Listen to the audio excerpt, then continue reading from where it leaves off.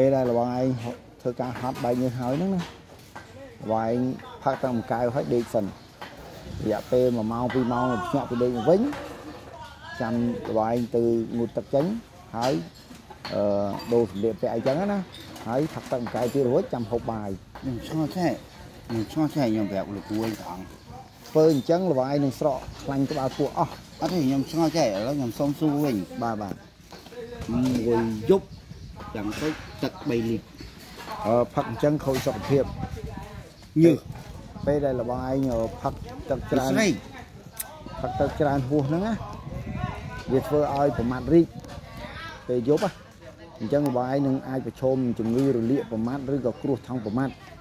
អត់ទេមែនខ្ញុំនិយាយត្រង់ហើយមួយទៀតរីកថង់ប្រមាថបើរីកបើបើសិនអត់ទៅប្រៃអត់អីទេអឺបើសិនជាលវាយហូបប្រៃទឹក មកទៅស្វាយត្រូវហូបសាច់ថែមហ្នឹងហើយហូបសាច់កាន់តែខ្លាំងស្អីទឹកបើសិនយ៉ាងណានេះផឹងអម្ដបហូបសាច់ថែមហើយមួយទៀតបើបានរសក់ជួយឲ្យសាអំបិលមកវិញហ្នឹងរសក់ផ្អយើងហ្នឹងណាបាទហ្នឹងហើយពីស្រែកបាទអត់អីទេបងសំខាន់គឺឲ្យលបាយមានសុខភាពល្អបាទបាទបុយមក